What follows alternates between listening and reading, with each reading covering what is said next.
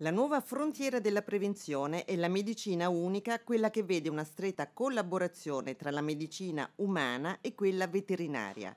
È la cosiddetta One Health, una sola salute perché il benessere degli esseri umani è strettamente connesso a quello degli animali e dell'ambiente.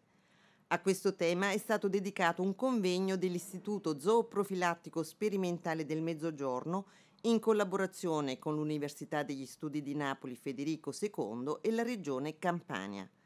Un passo avanti importante nella direzione della medicina unica è stata la creazione di un laboratorio come quello della tipizzazione delle salmonelle, come spiega Antonio Limone, direttore generale dell'Istituto Zooprofilattico della Campania e della Calabria. Tipizzare le salmonelle, intervenire negli allerta con grande efficacia ed efficienza sarà molto più facile d'ora in poi. Abbiamo bisogno di matchare quello che succede nel mondo del cibo col mondo degli ospedali in modo da costruire un allerta rapido che sia capace di intervenire tempestivamente. Per capirne di più sentiamo anche Maria Triassi, ordinario di igiene dell'Ateneo Federiciano. Adesso la nuova prevenzione riguarderà la sorveglianza integrata sull'ambiente e sulla salute, quindi è necessario guardare i dati in maniera integrata e sulla base dei risultati dei controlli ambientali costruire la prevenzione dove è necessario effettuarla. Lì dove per esempio c'è un inquinamento